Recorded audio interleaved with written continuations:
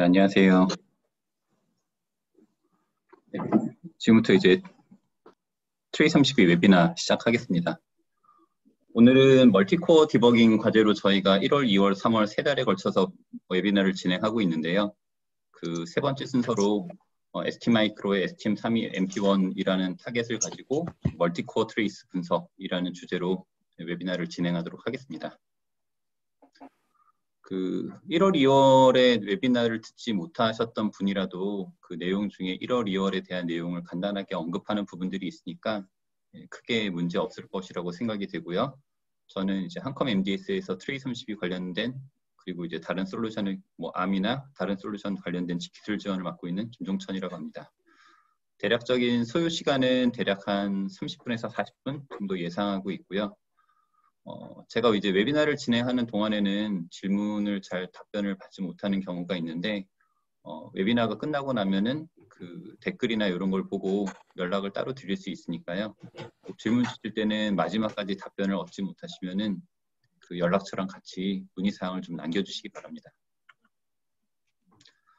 네, 첫 번째로 진행할 목차는 오늘은 이제 멀티코어에 대한 내용이니까 네, 간단하게 AMP와 SMP가 어떻게 다른지 좀 살펴볼 거고요. 그 다음에 어, 저희가 이제 오늘 사용할 보드인 ST마이크로의 STM32 MP1이 어떻게 multicore에 디버깅 관련된 기능을 제공하는지 그 다음 데모랑 이제 summary를 하는 이런 내용으로 진행하도록 하겠습니다. 먼저 이제 AMP랑 SMP가 어떻게 다른지를 좀 알아보면 좋을 것 같은데요. 일단 MP는 multi processing이라고 보시면 됩니다. 그리고 앞에 있는 A는 asymmetric 그리고 뒤에 있는 S는 symmetric인데요. 그냥 아래쪽에 그림을 보시면은 가장 간단하게 구분을 하실 수가 있을 것 같아요. 네, 예를 들어서 코어가 이렇게 두 개가 있는데 뭐 예를 들어 휴대폰에 들어가는 프로세서다라고 예를 들어 보겠습니다. 그래서 프로세서 하나는 뭐 이제 어플리케이션 관련된 것들을 다 처리를 하고 프로세서 하나는 뭐 모뎀에 관련된 이런 역할만 처리를 하고 있어요. 그러면 코어가 두 개고 엄연히 하는 일이 두 개가 서로 다르죠. 이런 경우를 저희가 가장 전형적인 AMP 프로세서다라고 이렇게 부릅니다. 이거는 코어가 두 개가 있는데 이제 가운데 이제 OS가 올라가죠. 예를 들어서 이제 리눅스나 안드로이드가 올라간다라고 가정을 해보겠습니다. 그러면 이 리눅스라는 OS가 그때 그때마다 하는 일을 어 이제 좀 일이 없는 코어, 예를 들어 1번 코어가 좀 놀고 있다. 그러면 1번 코어한테 뭐 이런 식으로 일을 던져주면서 이번에는 이 어플리케이션이 1번 코어에서 동작하지만은 다음번에는 2번 코어에서 동작할 수도 있는 그때그때 다르게 동작할 수 있는 이런 역할들을 주로 SMP라고 부릅니다. 그러면은 저희가 이제 흔히 보는 주변에서 뭐 이제 사용하는 프로세서 중에 AMP로 구성된 거랑 SMP로 구성된 것들을 간단하게 한번 예를 들어서 좀 말씀을 드리도록 하겠습니다. 첫 번째에서 나온 거는 이거 이제 TI에서 나온 AM571X라는 프로세서인데요. 이 안에 내부 구성을 보면은 application을 수행하기 위한 Cortex A15 코어가 하나가 있고요. 그다음 뭐 간단한 이제 뭐 제어 장치 처리나 이런 거를 하기 위한 뭐 Cortex M4 코어가 있습니다. 그리고 이제 digital signal을 처리하기 위한 C6000 계열의 DSP 이렇게 세 개의 코어로 구성이 되어 있습니다. 엄연히 보면은 프로세서는 물리적으로 하는 하나인데 안에 내부를 보면은 전혀 다른 아키텍처의 코어 3개가 들어가게 되고 일반적으로는 이 세 개의 각각 특성이 있기 때문에 서로 다른 일을 맡게 됩니다. 이런 경우를 대표적인 AMP 코어다라고 볼 수 있겠죠. 다음 오른쪽을 보시면은 NXP의 T2080이라고 하는 프로세서가 있습니다. 여기 안에는 파워PC 계열의 에코 6500 코어가 물리적으로 4개가 들어 있습니다. 그리고 OS가 올라가서 뭐 그때그때 하는 일을 다른 일을 지키는 이런 식으로 동작하게 됩니다. 이 같은 경우는 이제 똑같은 코어가 여러 개가 들어있기 때문에 대표적인 SMP 코어다, SMP 프로세서다라고 이렇게 부를 수가 있겠습니다. 자, 근데 요즘에 나오는 프로세서, 프로세서들을 보면은 대부분 이제 AMP랑 SMP의 복합적인 구조를 가지게 되는 경우가 굉장히 많습니다. 예를 들어서 오늘 사용하는 STM32 MP1 같은 경우는 Cortex A7 코어도 들어있고 Cortex M4 코어도 들어있습니다. 이렇게만 보면은 이거는 AMP 구조가 되겠죠. 예를 들어서 Cortex A7에서는 리눅스를 돌리고 Cortex M4에서는 뭐 RTX나 아니면 FreeRTOS나 뭐 이런 OS를 돌리거나 아니면 펌웨어 단에서 동작을 시켜도 되겠죠. 전혀 다른 아키텍처 두 개가 들어있기 때문에 AMP 구조다라고 볼 수 있는데 또 그 내부적인 구조를 보면은 Cortex A7 dual 코어가 이렇게 들어 있습니다. 이 부분만 보면은 얘는 SMP 구조도 가지고 있다라고 말씀을 드릴 수가 있겠죠. 자 아래쪽을 보시면은 NXP의 i.MX 8 계열 중에 좀 더 복잡한 구조를 가진 애가 있습니다. 예를 들어서 Cortex A53 코어도 들어 있고 Cortex A72 코어도 들어 있고 Cortex M4 코어도 들어 있는 서로 다른 코어 종류들이 들어있기 때문에 얘는 전형적인 AMP 구조다라고 말씀을 드릴 수가 있을 거고요. 그 위에서 본 거랑 비슷하게 Cortex A53 코, quad, 그러니까 코어가 4개가 들어있으므로 이렇게 한 묶음을 보면 얘는 SMP의 묶음이고 Cortex A72도 dual 두 개가 들어있으니까 이렇게 봐도 이거는 SMP의 구조다라고 볼 수가 있겠죠. 그래서 요즘에 나오는 프로세서들은 대부분 이런 식으로 SMP와 AMP가 이제 복합적인 구조를 가지는 이런 식으로 구성이 많이 되어 있습니다. 자, 다만 하나 예상이 있는데 이 아래쪽에 보시면은 Cortex M4 코어가 이렇게 두 개가 들어 있습니다. 동일한 코어가 두 개가 들어 있지만은 저희는 이거를 SMP 구조라고 부르지 않고 AMP 구조라고 이렇게 부르고 있는데요. 어, 자세한 설명은 이제 다음 페이지에서 이어서 말씀을 드리도록 하겠습니다. 자, 그러면 K31을 사용하는 입장에서 AMP냐 SMP냐에 따라서 가장 달라지는 어, 첫 번째 사항은 뭐냐면은 AMP의 구조에는 코어 하나당 K32 소프트웨어를 하나씩 띄웁니다. 이렇게 하나당 하나씩. 그다음 SMP의 구조에는 코어가 몇 개건 상관없이 이 여러 개의 코어를 소프트웨어 하나에서 다 제어를 합니다. 물론 어, 프로세서 자체적으로는 물리적인 이런 SMP 구조를 갖고 있지만은 요거를 좀 따로 떼가지고 1번 코어는 파워뷰 하나에서 실행을 하고 2번, 3번 코어는 SMP 구조로 하나 묶어가지고 또 다른 PowerView에서 실행을 하고 뭐 이렇게 할 수도 있습니다. 근데 오늘은 뭐 그렇게 자세한 것까지는 말씀을 드리지 않고 그냥 AMP 구조는 소프트웨어를 하나당 아, 코어 하나당 소프트웨어를 하나씩 띄운다. SMP 코어는 여러 개의 코어를 하나의 트레이 32 소프트웨어에서 제어할 수 있다 정도로만 봐두도록 하겠습니다.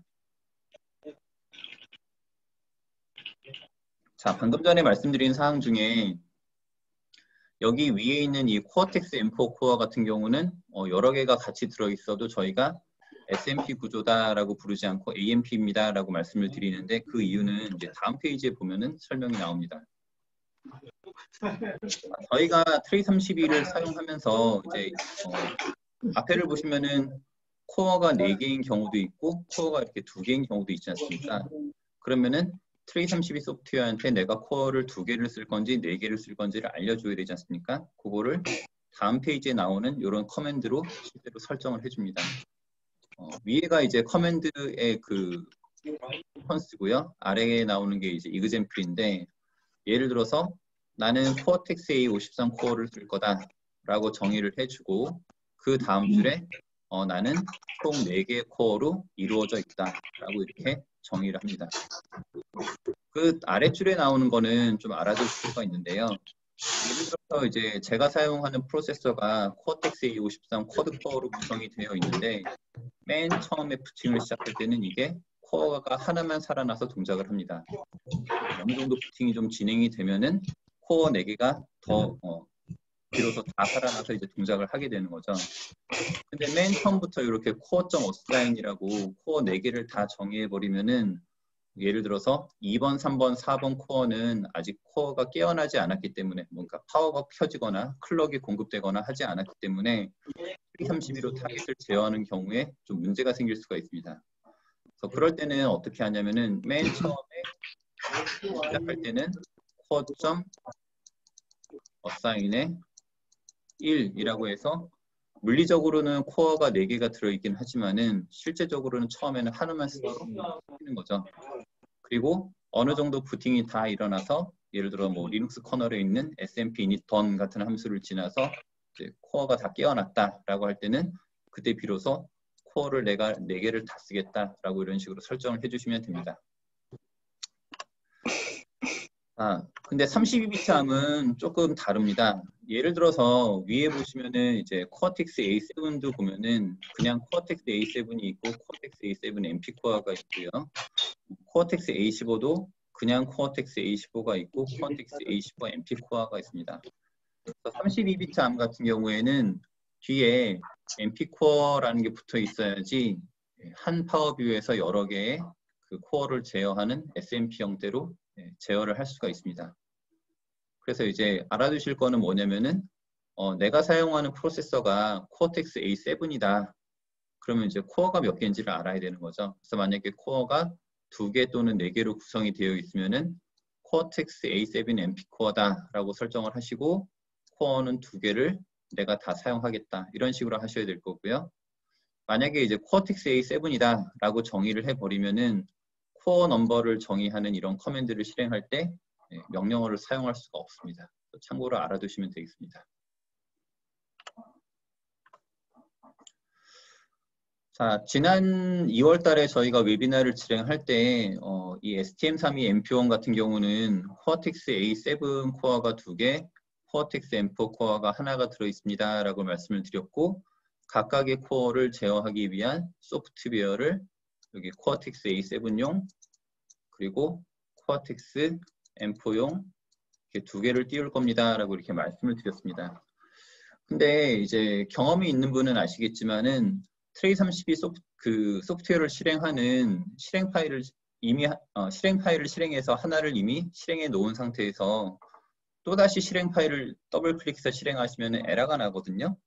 결과적으로는 이제 똑같은 T32 예를 들어서 T32 MARM.exe를 두 번 실행해서는 소프트웨어를 두 개를 띄울 수가 없다는, 얘기, 없다는 얘기입니다. 그러면 어떻게 실행을 실제로 하게 되냐면은 일단 마스터가 되는 소프트웨어를 하나를 띄웁니다. 그리고 이 소프트웨어에서 target system new instance라고 하는 command를 이용해 가지고 또 다른 소프트웨어를 하나를 띄우게 되는 거죠. 그리고 저희가 이제 어, 환경 설정을 하거나 테스트 자동화를 할 때 CMM 파일을 짜서 이제 정, 그 실행을 하게 되는데요. 예를 들어서 저는 Cortex A7이 있는 요 마스터 TRACE32 소프트웨어에서 요 Cortex M4 쪽을 다 제어를 하고 싶어요. 그러면은 이쪽 소프트웨어에서 저쪽 소프트웨어로 뭔가 명령을 던져줘야 될 거 아닙니까? 그거를 여기 있는 intercom이라고 하는 이 명령을 통해서 제어를 하게 됩니다.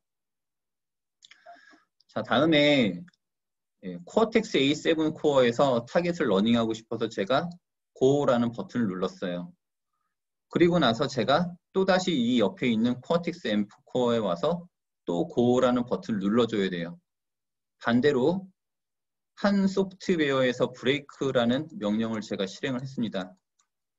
또 제가 옆에 와서 Break를 일일이 눌러줘야 돼요.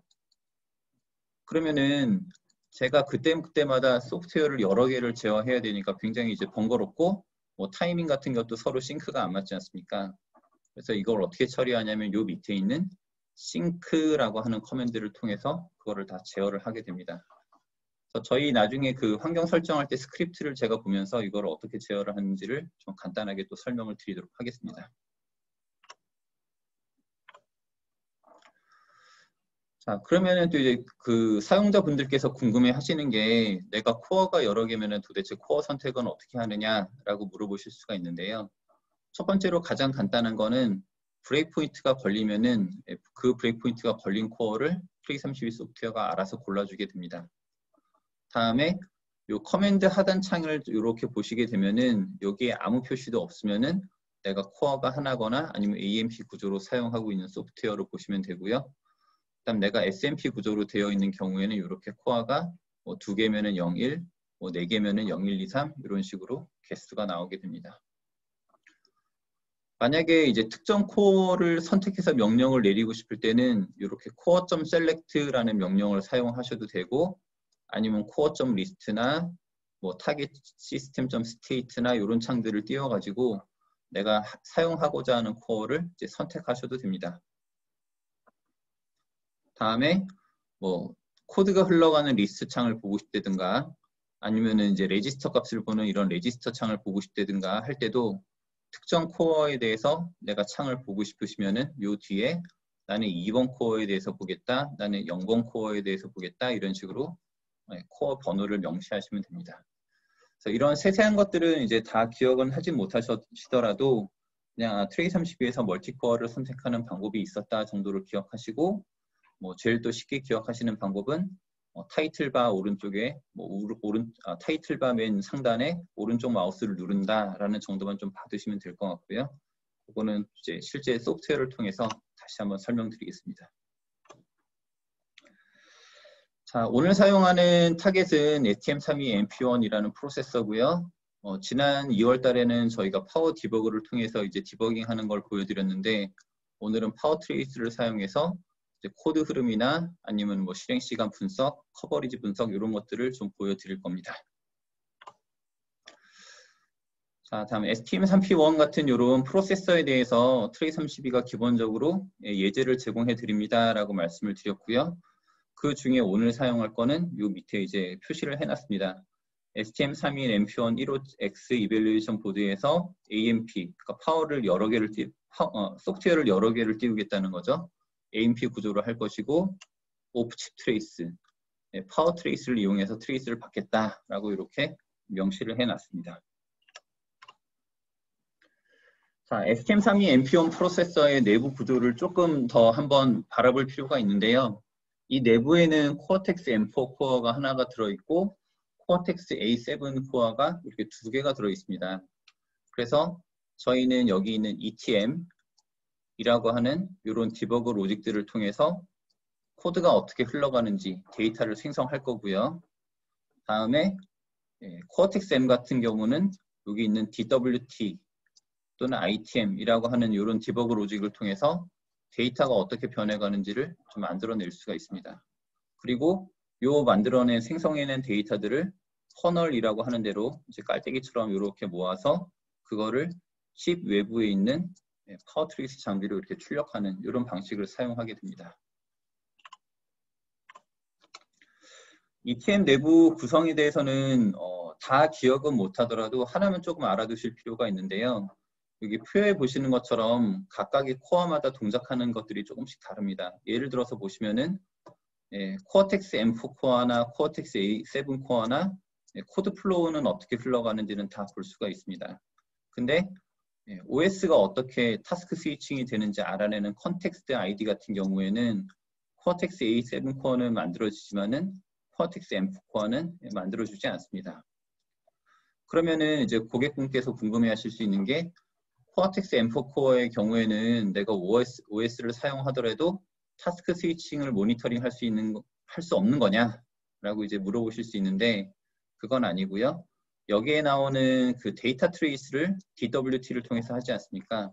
그래서 어, context ID를 생성하는 방법 말고 task switching이 발생하면은 그 task struct 구조체 안에 내가 current state current task가 어떤 건지를 관리하는 특정한 그 멤버 변수가 있습니다.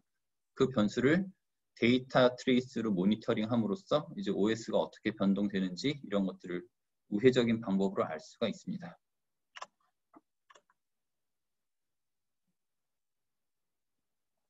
자, 그럼 실제로 이제 어, 데모를 보면서 간단하게 어떻게 디버깅을 할 수 있는지를 좀 보여드리도록 하겠습니다.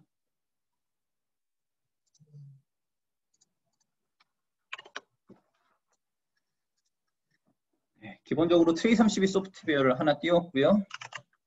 네, 오늘 사용할 스크립트인데 내부를 한번 간단히 조금 보도록 하겠습니다. 네, 스크립트 위치는 아까 그 데모 슬라이드 그 슬라이드에 나와 있고요. 만약에 자료가 필요하신 분들은 어, 세미나가 끝나고 나서 별도로 말씀을 주시면은 뭐 이메일 주소로 자료를 보내드리도록 하겠습니다. 자, 뭐 스크립트가 어떻게 흘러가는지 대략 좀 흘러가 따라가 보도록 하겠습니다. 뭐 앞에는 좀 무시해도 될 것 같고요. 이제 뒤에가 좀 아, 저희가 알아볼 알아둘 건데 여기 보시면은 이제 target system이라고 하는 아까 명령을 통해서 예, 실행하지 않은 소프트웨어를 실행할 아, 아직 실행되지 않은 별도의 TRACE 32 소프트웨어를 추가로 실행할 수 있습니다라고 말씀드렸었죠. 그래서 이 라인을 통해서 저희가 TRACE 32 소프트웨어를 이렇게 하나를 더 띄울 겁니다. 자, 그 다음에 이 소프트웨어 상단을 보시면은 뭐 PowerView for ARM 1 얘는 뭐 파워뷰 4 CM4 이렇게 나와 있는데 여기 타이틀을 바꾸면은 조금 더 우리가 이게 Cortex A7용인지 M4용인지 알 수가 있겠죠. 그래서 이런 command를 통해 가지고 예, 명령을 실행하게 됩니다. 자, 근데 보시면은 제가 마스터 파워뷰 쪽에서 요 옆에 있는 slave PowerView를 제어를 하지 않습니까? 그 어, 처리하는 방법이 여기 나오는 요 intercom이라고 하는 command를 통해서 옆에 있는 다른 파워뷰를 제어하는 거고요. 이 뒤에 있는 CM4라고 하는 거는 저희가 아까 여기 위에서 CM4라고 하는 이 이름으로 TRACE 32 소프트웨어를 하나 별도로 이름을 줘서 만들지 않았습니까? 그래서 intercom.cm4라고 하면은 이건 항상 이 옆에 있는 소프트웨어한테 명령을 내리는 방법이 되겠죠. 자, 그래서 뭐 밑에를 보시면은 어, 메인 파워뷰는 예, Cortex A7을 디버깅 할 거고 slave PowerView는 이제 Cortex M4 쪽을 디버깅을 할 거고 그 다음 뭐 JTAG을 연결하고 네, 그 다음 요게 나오죠. 만약에 코어를 제가 1번을 지금 선택해서 1번 코어를 선택해 놓은 상태라면은 요 위에 있는 core.select 0이라고 하는 command를 통해서 다시 0번을 이렇게 선택할 수가 있습니다. 그리고 ELF를 다운로드하고 코어 0번에 대해서 특정 레지스터 값을 세팅을 하고 intercom.cm4니까 이거는 옆에 있는 요 파워뷰죠. 옆에 파워뷰에도 뭔가 파일을 다운로드하고 레지스터를 세팅하고 하는 일들을 쭉 이렇게 실행을 하도록 만들고 있습니다.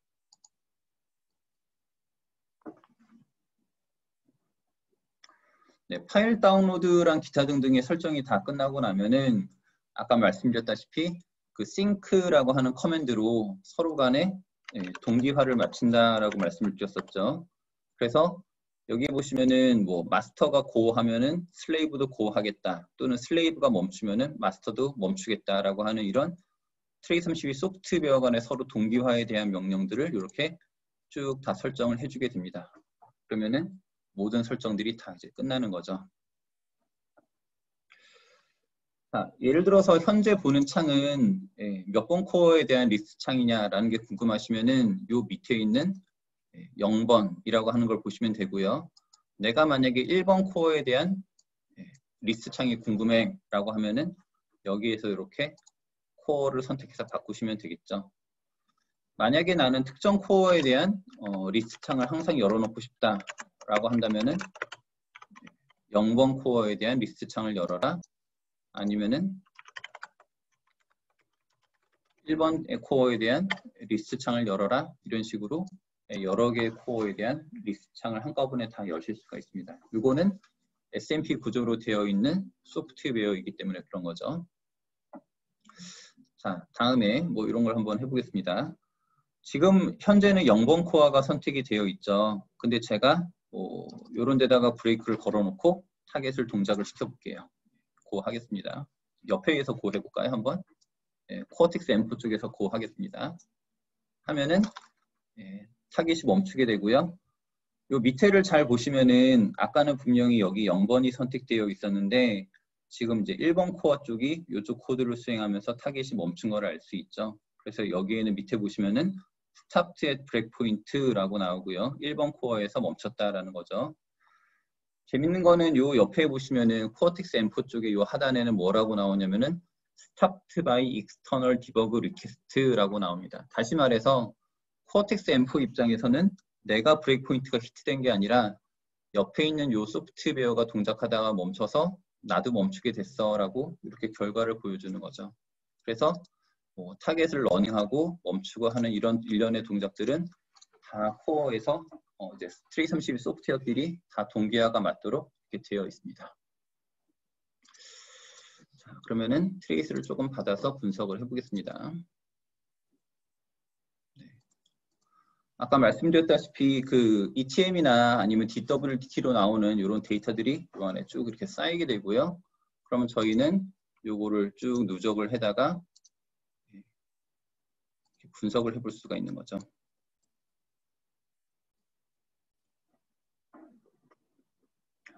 Cortex M4 쪽도 한번 가져와 보겠습니다.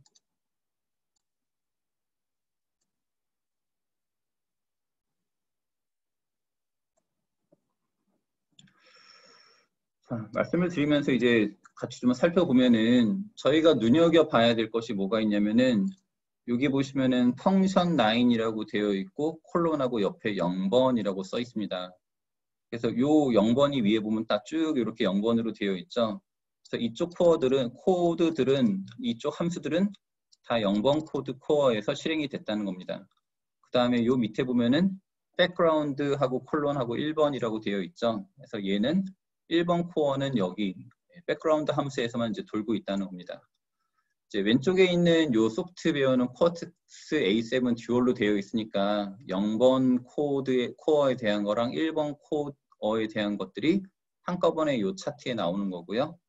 만약에 이제 어, 디버깅을 하시는 분께서 나는 어, 1번 코어는 별로 관심 없고 0번 코어에 대한 것만 좀 추려서 보고 싶다라고 한다면은 아까 이런 봤던 방법으로 나는 0번 코어에 대한 것만 분석해서 보여줘 라고 하시면은 좀 전에 있었던 네, 이런 이제 코어 번호 없이 0번 코어에 대한 것만 바로 볼 수가 있겠죠. 옆에 있는 Cortex M4 같은 경우는 어차피 이제 어, 코어가 하나밖에 없기 때문에 뒤에 숫자가 표시되지 않고 그냥 Cortex M4에서 실행한 것들이 다 이렇게 나오게 됩니다. 자, 그러면 이제 궁금해 하실 것 중에 하나가 예, 이렇게 multi-core 프로세서 구조로 되어 있으면은 내가 뭐 예를 들어서 Cortex A7에서는 뭐 함수 1번을 수행할 때 Cortex 옆에 있는 M4 쪽에서는 무엇을 실행하고 있을까 라고 하는 이런 것들을 좀 궁금해 하실 수 있는데요. 예를 들어서 제가 예, Cortex M4에서 뭐 이런 코드를 실행할 때 어떤 일이 벌어졌는지를 보고 싶어요. 그러면은 이 위에 있는 시간을 제가 찾아서 여기에서 찾기란 되게 어렵지 않습니까? 그래서 또 서로 간의 소프트웨어 간에 서로 동기화를 맞출 수가 있습니다. 예를 들어서 네, zoom track이라고 하는 옵션이 있는데요.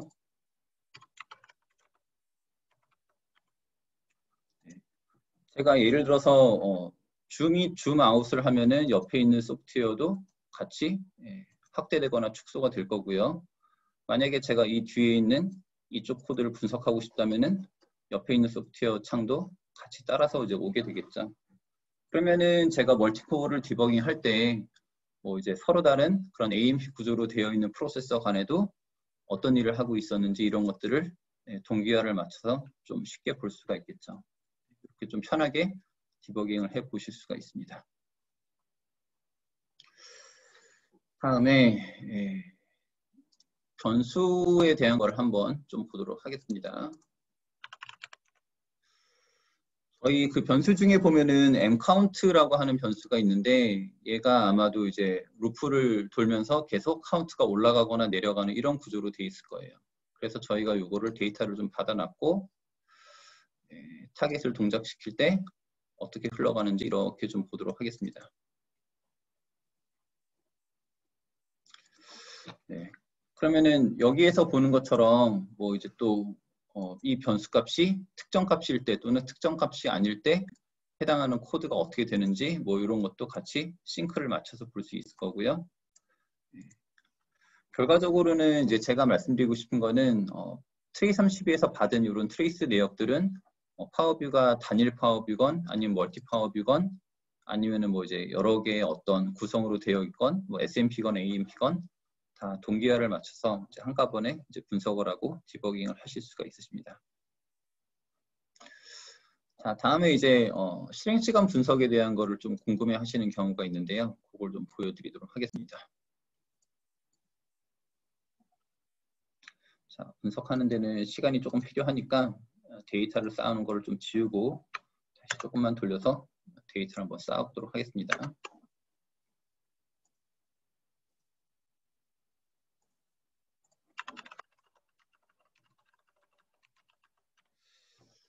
아, 제가 trace 데이터 받은 걸 가지고 좀 분석을 하고 싶습니다. 그래서 뭐 어떤 CPU가 CPU 자원을 얼마나 잡아먹고 있는지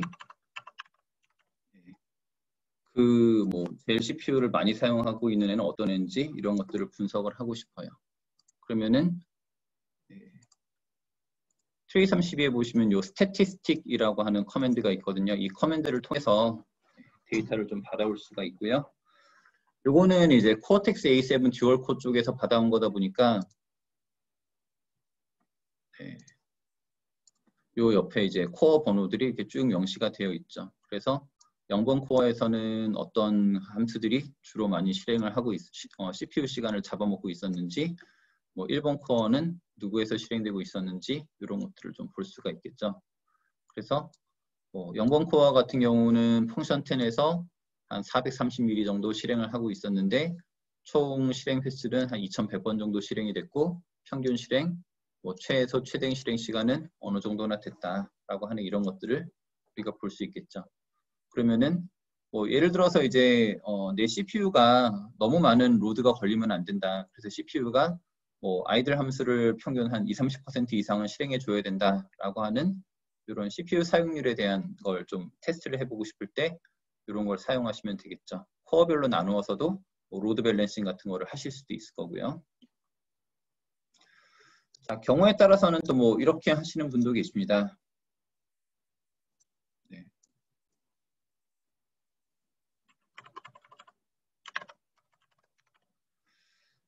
자, 지금 어, 이 데이터 분석에 대한 거는 그냥 제가 총 누적한 시간에 대해서 다 전체를 이제 보고 있는 거거든요.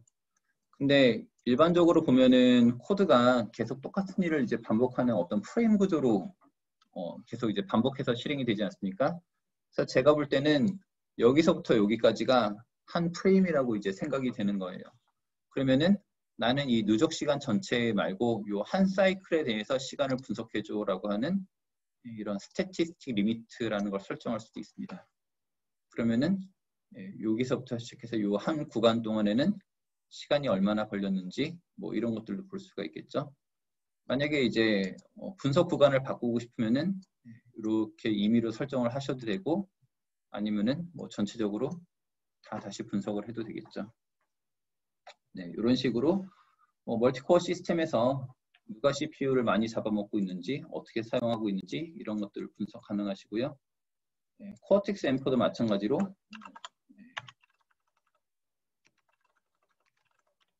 이런 식으로 보시면은 네, A7과는 별도로 M4에서는 어떤 일들이 많이 벌어지고 있는지 이런 것들을 각각 코어별로 다 분석을 해서 보실 수가 있겠죠.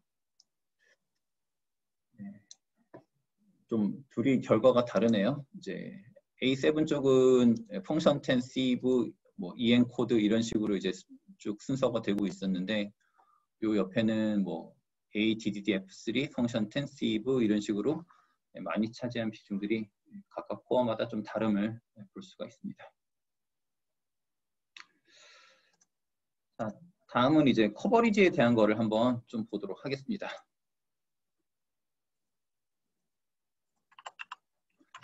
네, coverage는 어, 쉽게 생각하면은 내가 코드를 뭐 만 줄을 짰는데 이 만 줄의 코드가 실제로 내 소프트웨어를 운영하는데 다 필요한 거냐 아니면 내가 시험을 다 해봤느냐 뭐 실행하지 않는 코드는 어디에 있느냐 뭐 이런 것들을 찾는 건데요. 예, 대부분 이제 관심이 있어 하는 것 중에 하나가 어, PowerTrace를 사용하시면은 코드를 넣고, 넣지 않고 별, 내가 개발한 코드 그대로 테스트를 할 수 있기 때문에 뭐 타이밍 같은 이런 왜곡이라든가 뭐 이런 문제가 없다라고 하는 거에 굉장히 큰 관심을 갖고 계시고요. 코드를 삽입하지 않기 때문에 이제 코드 사이즈가 늘어나지 않는 이런 장점도 있겠죠. 그래서 저희는 뭐 이제 RTS라고 하는 실시간으로 코드를 받아가면서 이제 분석을 하는 방법을 한번 좀 간단하게 보여드리도록 하겠습니다. 자, 이렇게 열면은 네, 함수들의 리스트가 쭉 나올 거고요.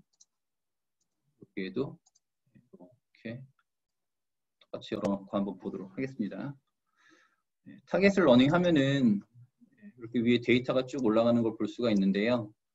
네, PowerTrace에서 그 코드 흐름에 대한 데이터를 아까 받을 수가 있다고 하지 않습니까? 그래서 코드 trace를 쭉 받아가지고 이제 어떤 코드가 실행되고 어떤 코드가 실행되지 않았는지를 네, 이제 즉석에서 분석해서 보여드릴 수가 있는 거죠.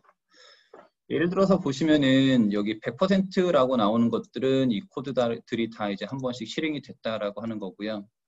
여기 35%라고 나오는 이 incomplete 같은 경우에는 예, 요 스위치 구문에서 x가 뭐 케이스 1, 2, 3, 4를 다 만족하도록 들어오는 게 아니라 지금은 이제 그 외의 값들만 들어오다 보니까 들어오자마자 뭐 빠져나가는 이런 구조로 되어 있구나라고 하는 걸 볼 수가 있겠죠. 그럼 이런 경우에는 저희가 이제 케이스 1, 2, 3, 4를 탈 수 있도록 요 x 값을 다른 값으로 이제 대입을 해주는 그런 이제 추가적인 테스트 시나리오를 좀 보강을 하시면 되겠습니다.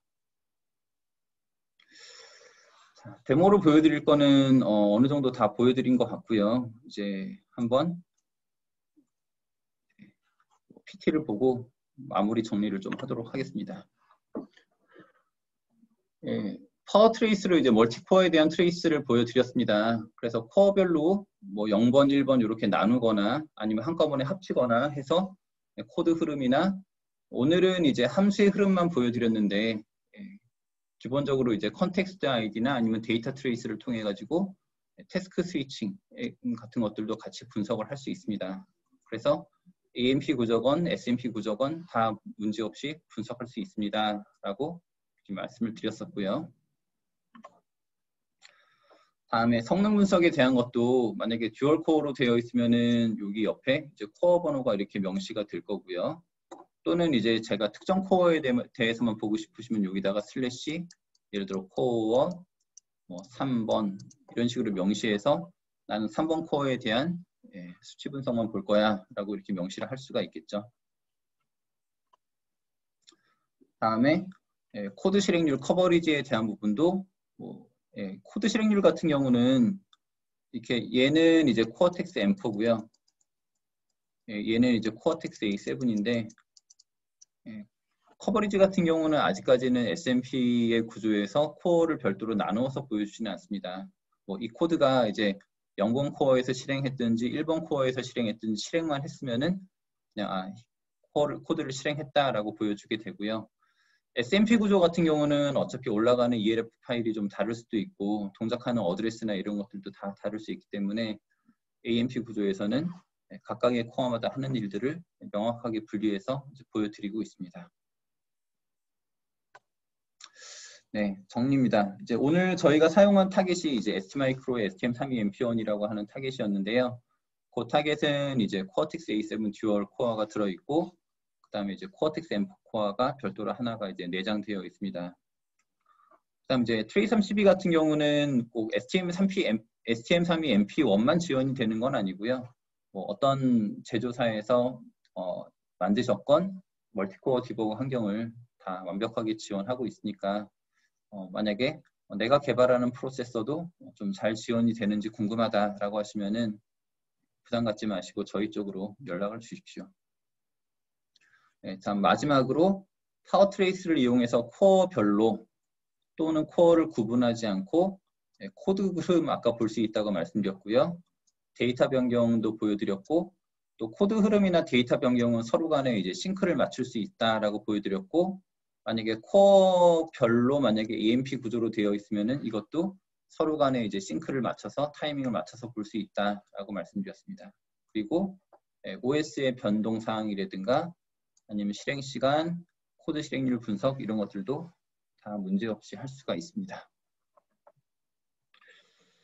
아, 오늘 저희가 그 multicore trace 관련해서 준비한 거는 여기까지입니다. 그래서 어, 추가로 이제 좀 궁금하시거나 아니면 발표에 관련된 자료를 받아보기를 원하신다거나 아니면 이제 개발하시는 타겟에서 뭔가 이제 필요한 사항이 있다거나 하시면은 저희 그 채팅창을 통해서 어, 연락받고 싶으신 연락처랑 필요하신 사항을 좀 남겨드리면은 저희가 그 부분에 대해서는 이제 별도로 담당자를 통해서 연락을 드리도록 하겠습니다.